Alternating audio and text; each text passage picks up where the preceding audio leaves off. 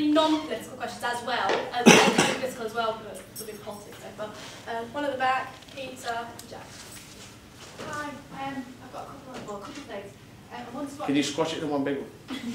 What's your name? what do you think about the nine grand What- fee? What do you think about... What's your name, nine- sorry? I'm Kate. Okay. Um, I'd like to know what you think about the increase in student fees, um, the 9k. And another thing, my colleague Suzanne absolutely adores you and will you blow her, will you blow her a kiss?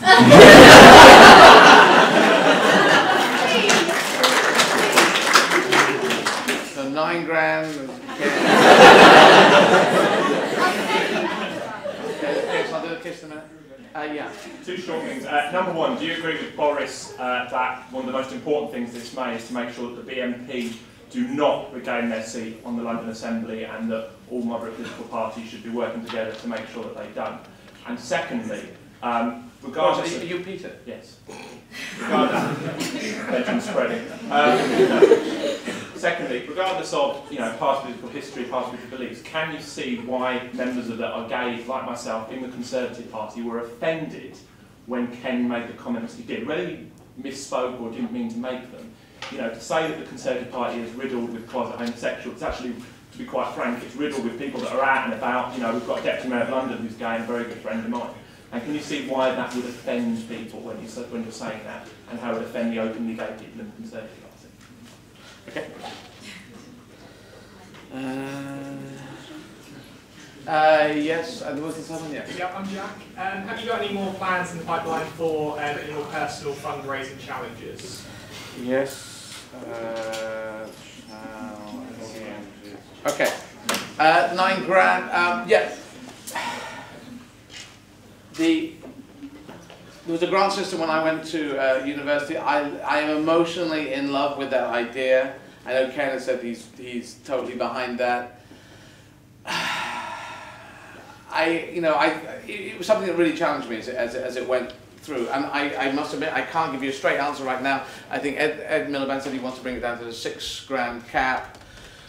I'm okay with that. I look, the idea of, of being a tax, you know, uh, um, a graduate tax, that sounded interesting to me, and I keep trying to get policy goals in front of me, policy wonks, so I can say, tell me, take me through all the whys and wherefores so I can make an absolute decision on this. I haven't got to the fine uh, end and, and, and uh, to be able to make a, a complete judgment call on this. But emotionally, of course, I'm with the idea that everyone can can get to university uh, with a grant system. Big, and the trouble is, is obviously the rich are, are fine with the idea of debt, and probably wouldn't have to do that because they'd be rich enough and their parents would just pay for it anyway. And if the people coming from the idea that debt is anathema, then they have to take on the debt, and I can see the problems with that. I, I, I haven't got to the bottom of exactly where I stand, and I and so I apologise for that, but I'm not running for eight years, so that's that's what I'm doing. The kiss is here. Who am I kissing? I just did a general kiss there.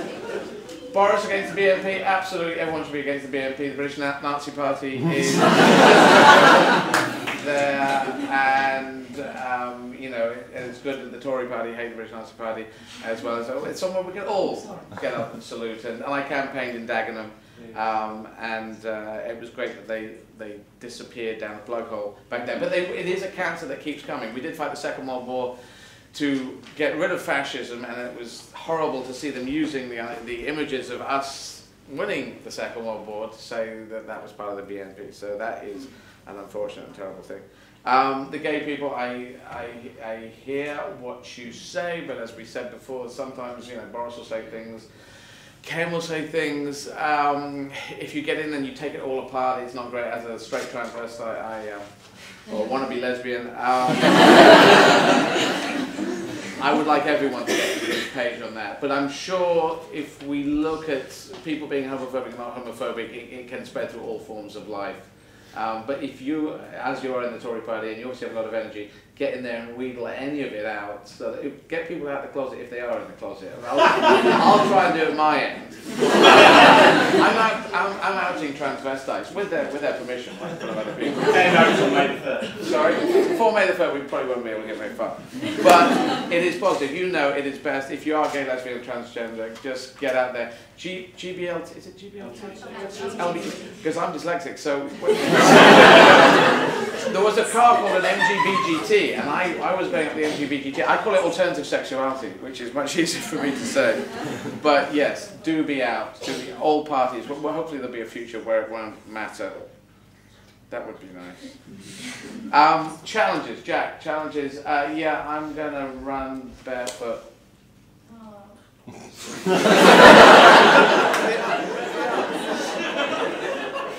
barefoot is the new um, is the new LBGBT. Um, it is. It's the pushing the edge as we push the edge of uh, sexuality and say this is actually cool, guys, and it has been cool for years. Um, barefoot running comes from a place where there's a two million years of development of human beings and and only about ten thousand years of putting on sandals. So we are we are more suited. If you have the big spongy shoes, dump them. Get into the barefoot running shoes. These are barefoot running shoes. Um, get down to very little because it's dumbing your feet down. So I'm going to do a big run with actually without shoes at all um, in Africa, and it's going to go. It's going to go on. It's, I'll do it all in one month, but it's going to be quite intense. I don't know if I can do it, but I'll, I'm going to do this. I haven't announced it yet. This is why I'm being kind of fluffy in my announcement. This is fluffy announcement. I'm going to do this big run thing and see if I can do it. But you can all do if you if you've ever thought marathons, tri- uh, triathlons. I'm getting into triathlons. Um, do that. Swimming, running, and, and cycling. I encourage you to do all these things. At this point, actually, you're all fit at the moment. Um, triathlons, why triathlons? Because because what is it? You have a lot of energy. You have stamina. Are you a person with? Because I think, because you know, I get, I get big, and I think it's because we're designed to hunt, hunt and gather. That's what we're supposed to be there for, and we've got all this energy. And then when we're not doing, it, we're sitting on a thing and say, "Oh, I'll eat this." I love eating. I'd eat chips. If, that, if they said I could just eat sugar for the rest of my life, I'd put a straw in a bag and I'd just walk around. Yeah. I'd just be that for the rest of my life. But then apparently you can't do that. Um, so yes, do at this point you probably won't be interested in, in exercise or whatever, but as it goes on, it starts to hit you. So it's triathlons is the way forward, or or at least running or cycling or something or swimming. Try it, even if you're not doing it.